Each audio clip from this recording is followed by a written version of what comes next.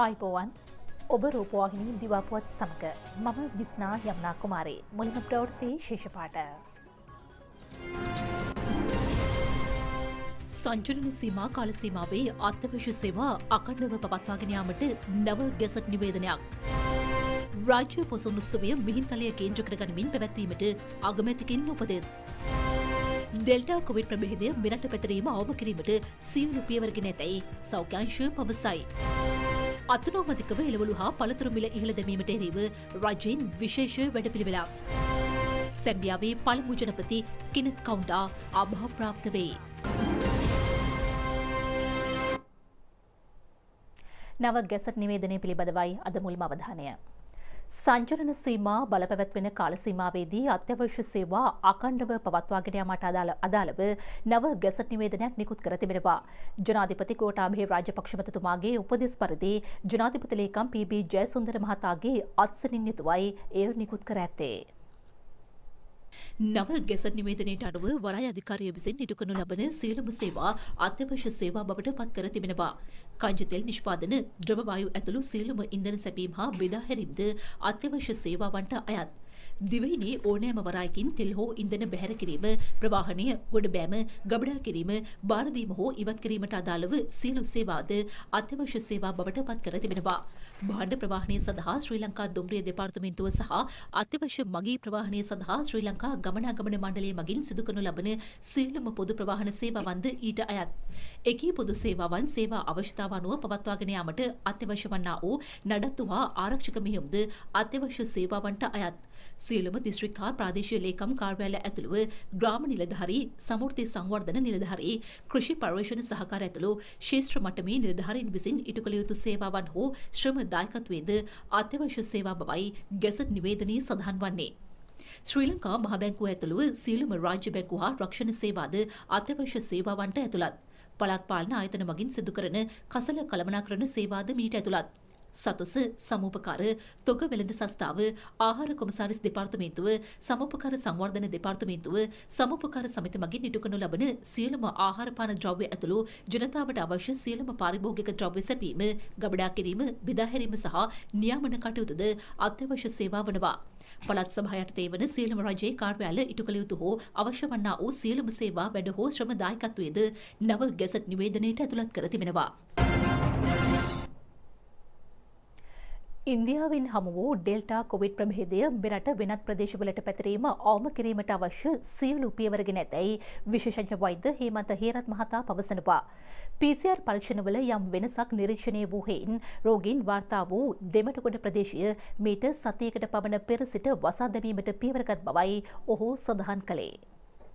අසාමාන්‍යතාවයන් මුල්වරටම හඳුනාගෙන ඒ පිළිබඳව ඒ පරීක්ෂණ කරපු විශ්වවිද්‍යාලය මගින්ම කොළඹ නගර සභාව වෙත දැනුම් දීලා තියෙනවා. ඒ අනුව දැනට සතියකට පමණ පෙර ඉඳලම මේ අවශ්‍ය ගත යුතු ක්‍රියාමාර්ග කොළඹ නගර සභාව විසින් අරගෙන තියෙනවා. ඒ හරහා ඒ ප්‍රදේශයෙන් මේ රෝගය තවදුරටත් පැතිරීමට තියෙන ඉඩකඩ අවම කිරීමට අවශ්‍ය පියවර අරන් තියෙනවා. ඒ කාරණා සිද්ධ වෙන අතරතුර තමයි විශ්වවිද්‍යාලය මගින් ඒ දීර්ඝ පරීක්ෂණ කරලා මේක තහවුරු කරලා නැවත ප්‍රකාශයටපත් කරේ. මේ සම්බන්ධයෙන් වශයෙන් ඊයේ දිනේදී ප්‍රකාශයටපත් වුණත් ඊට පෙර සිටම අවශ්‍ය කරන ආරක්ෂිත පියවරයන් අරගෙන තිබ්බ ගනිමින් තිබෙනවා ඉදිරියටත් ගන්නවා. ඒ වගේම තමයි දැනට පළමු සහ දෙවන පෙළ ආශ්‍රිතයන්ගෙන් ලබාගත්තේ නියදී එකක්වත් මේ වනතේ පොසිටිව් වෙලා නැහැ. අද උදෑසන වෛද්‍ය විශේෂඥයන් පෙන්වලා දුන්න කාරණයක් තමයි එක්ක මේක දේශයකින් පැමිණෙන්න ඕන. ඒ වගේම තාම සුළු සම්භාවිතාවක් තියෙනවා මේ වෙනකොට පැතිර යන ප්‍රභේදයේම විකෘතියක් ශ්‍රී ලංකාව තුල සිදු වෙලා මේ කියන ප්‍රභේදය බිහි වෙන්නත් යම්කිසි සම්භාවිතාවක් තියෙනවා.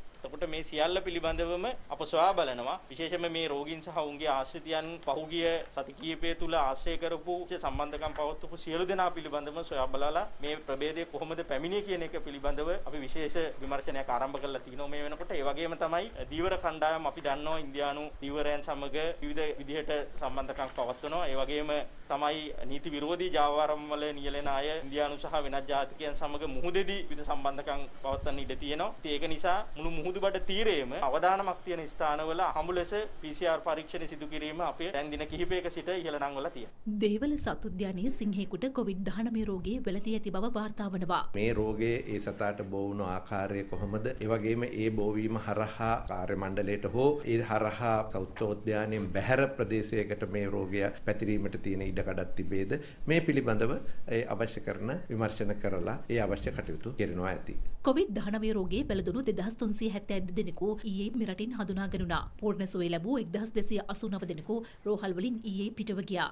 සෞඛ්‍ය සේවා අධ්‍යක්ෂ ජෙනරාල්වරයා ඉකුත් 16 වෙනිදා සිදුව ඇති කොවිඩ් මරණ 51ක් ඊයේ තහවුරු කළා.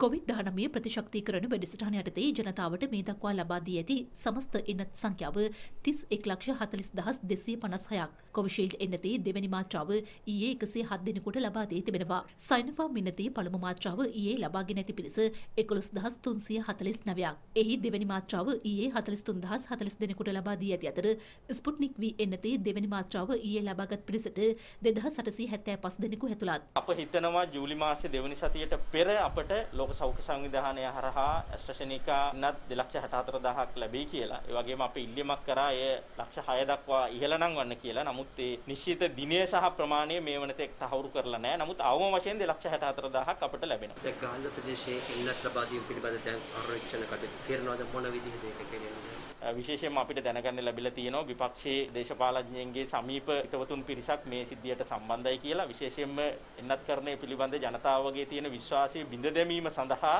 සංවිධානාත්මක ක්‍රියාවලියක් දියත් වෙන වගේ පෙනෙනවා. ඒ සම්බන්ධයෙන් ආරක්ෂක අංශය වෙනමම කටයුතු කරනවා. ඒ වගේම හෙළිදරව් වෙච්ච කරුණු මත පදනම් වෙලා ගරු අධිකරණය මේ වෙනකොට ඒ කටයුතු විභාග කරනවා.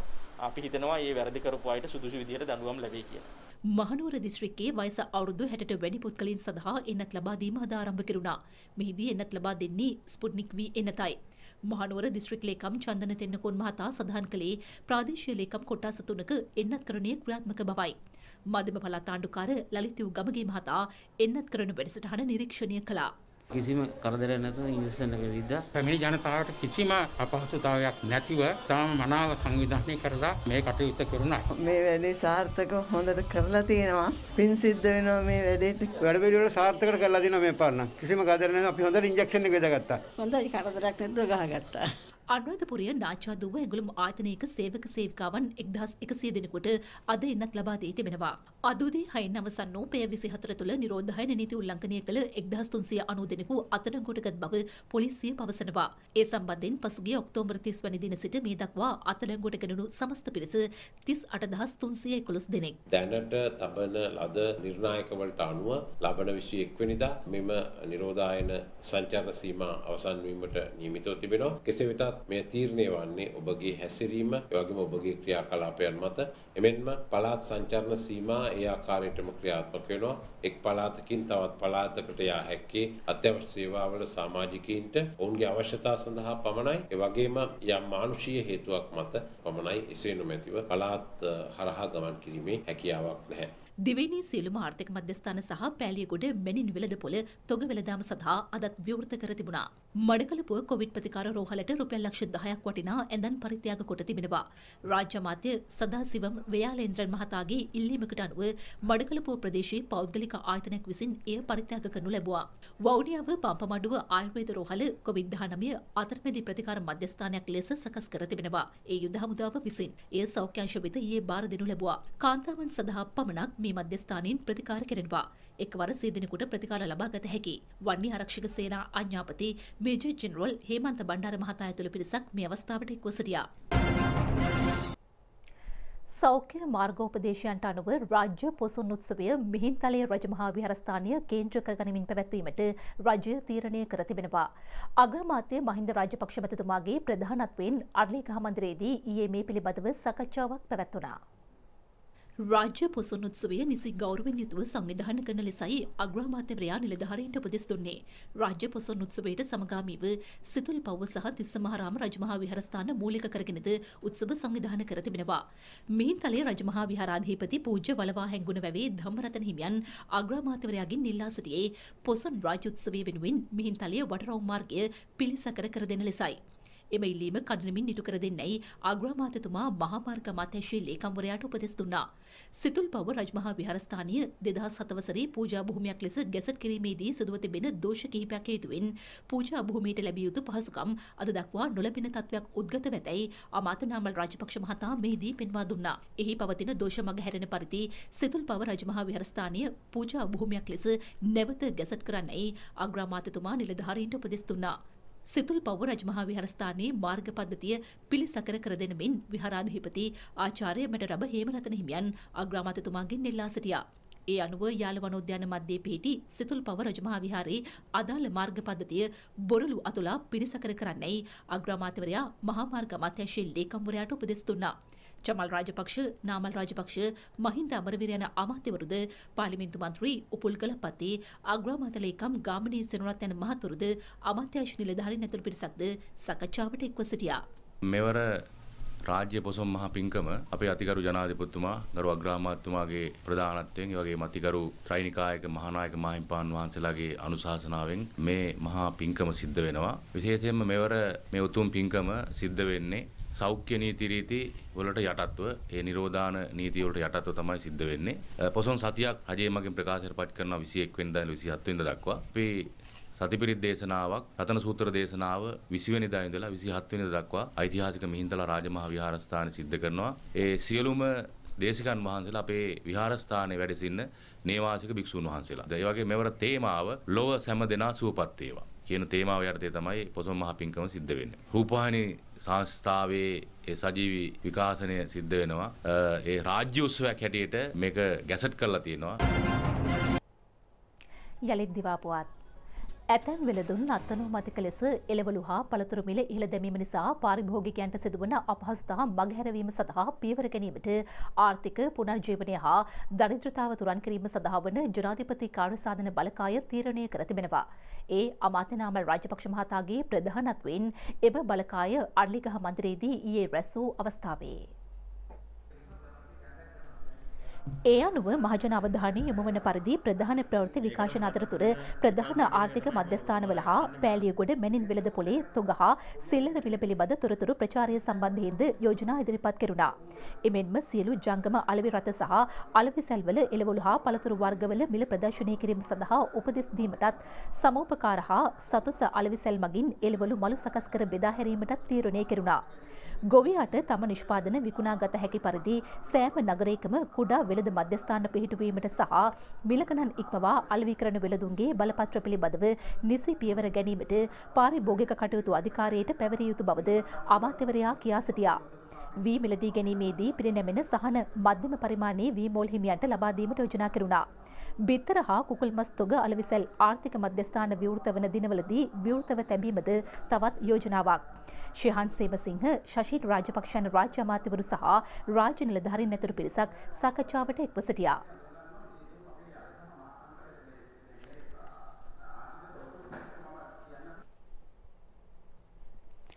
ආයෝජන කලාපවල සේවක සේවිකාවන්ගේ සෞඛ්‍ය ආරක්ෂාව වෙනුවෙන් කොවිඩ් එන්නත්කරණය කඩනම් කරන බව අමාත්‍ය නාමල් රාජපක්ෂ මහතා පවසනවා. බියගම අපනයන සැකසුම් කලාපේ ඉකුද්දා පැවති සකච්ඡාවකදී ඔහු මේ බව කියා සිටියා. කොවිඩ් වසංගතය හමුවේ උද්ගත වැති අභියෝගයට මුහුණ දෙමින් බියගම අපනයන සැකසුම් කලාපේ නිෂ්පාදන සහ අපනයන ක්‍රියාවලිය අකණ්ඩව පවත්වාගෙන යාම සම්බන්ධයෙන්ද මෙහිදී අවධානය යොමු කරුණා. අවශ්‍යතාව අනුව නිදහස් ආයෝජන කලාපවල අතරමැදි ප්‍රතිකාර මධ්‍යස්ථාන පිහිටුවීම සහ අනෙකුත් කටයුතු පිළිබඳවද සාකච්ඡා කරනු ලැබුවා. අමාත්‍ය ප්‍රසන්න රන්තුංග මහතා සහ ඩීවී චානක ප්‍රසන්න රණවීර යන රාජ්‍ය අමාත්‍යවරුන් ඇතුළු පිරිසක්ද මේ අවස්ථාවට එක්ව සිටියා. ඉඩම් අමාත්‍ය එස්.එම්. චන්ද්‍රසේන මහතා එප්පාවල ප්‍රදේශයේ කාබනික පොහොර ආශ්‍රිත වගාවන්න පිළිබඳ සොයා බැලීමේ නිරීක්ෂණ චාරිකාවක නිරත වුණා. ඔහු එම ගොවින් මුණ ගැසී ඔවුන්ට ඇති ගැටලු පිළිබඳවද විමසා බැලුවා.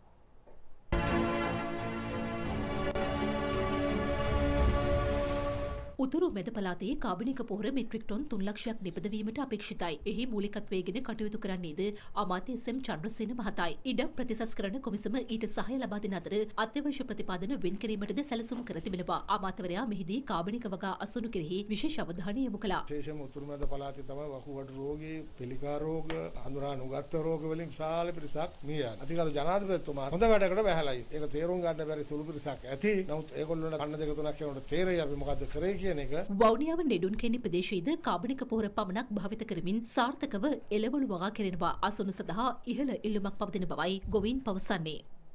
පොළොන්නරුව දිස්ත්‍රික්කයේ ගොවි ජනතාවද මේ වන විට කාබනික පොහොර වගාවට යොමු තිබෙනවා. මේ පොළොන්නරුව බැදිවැව ප්‍රදේශයේ පදිංචි තරුණ ගොවි මහතෙකු තම ගෙවත්තේ කාබනික පොහොර යොදා ගනිමින් සිදු කරගෙන යන වගාවක්. ඔහු තම ගෙවත්තේ සුවදැල් වී වගාවක් සාර්ථකව පවත්වාගෙන යනවා. මේ අරන් තියෙන තීරණෙත් එක්ක අපිත් වෙනස් වෙලා තියෙනවා. ඊට පස්සේ අපේ වත්තේ හැම වැටෙන කොලයක්ම අපි එකතු කරනවා. එකතු කරලා ගිනි තියන්නේ හැම එකම එකතු කරලා ප්‍රමාණිකවල කොම්පෝස්ට් බවට පත් කරනවා. ගෙවත්තේ තියෙන හැම භෝගයකටම අපි පාවිච්චි කරන කොම්පෝස්ට් පොහොර. ඇත්තටම ජනාධිපතිතුමාට මේ වෙලාව අපි ස්තුතිවන්ත වෙනවා. දැක්මක් එක සංකල්ප ගෙනල්ලා මේක ක්‍රියාත්මක කරන්න පටන් ගත්තා.